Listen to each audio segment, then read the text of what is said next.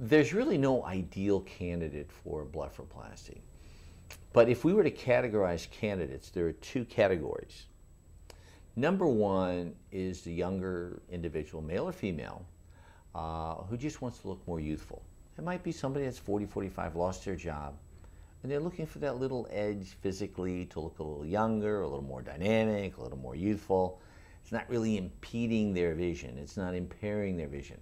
So there's that segment. Then you have the other segment that are 65, 70, 75, where it actually is a physical impediment to their seeing. Uh, many people, before coming in to see me, may have seen their optician, optometrist, ophthalmologist, and they do what we call a visual field, where they put their head into a box or cylinder, and then little twinkle lights come around, okay, and, and that maps out your field of vision.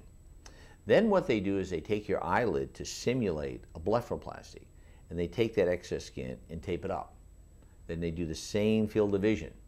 So without taping, this might be your field of vision. When they tape it up, your field of vision might be like this. So it's important from the standpoint of seeing objects above. And the main example is traffic lights. Years ago, and I'm dating myself, in the 40s and 50s, they were on the side of the road, and you had the red, green, and yellow and now they're overhead over the middle of the road. And so that superior field of vision is critical, especially for older people who maybe don't have the reflexes the way somebody that's 30, 35, 40 does. So they have to be extra cautious, extra careful. And doing a blepharoplasty uh, for them actually uh, improves their, their, their ability to see physically.